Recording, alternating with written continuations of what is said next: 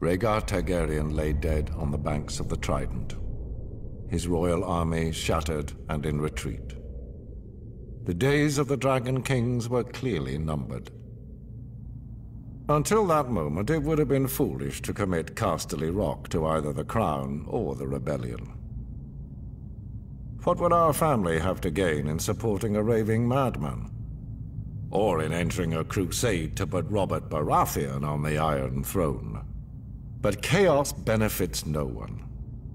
It was time for House Lannister to do what it could to ensure a return of peace and prosperity to the land.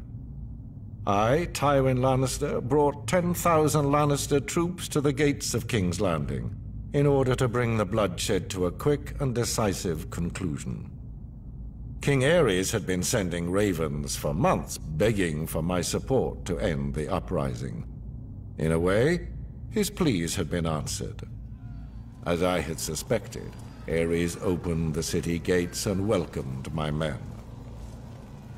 Our plan was clear.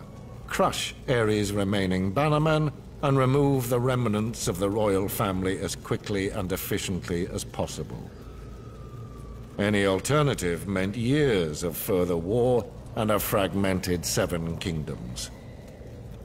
Our means were bloody, but the results speak for themselves. As for Aerys, it is true he met his fate at the hands of my son.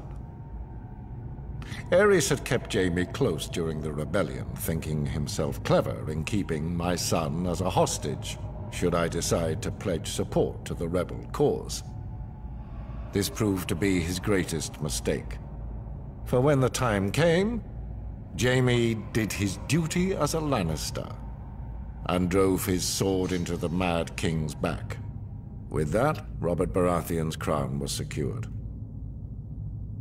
The new king recognized our role in his ascension to the throne, just as he recognized how useful the might and riches of Casterly Rock would be if he wanted to keep it. To that end, I offered my daughter Cersei as his queen. Had Aerys not spurned this same offer years earlier, perhaps things would have worked out differently.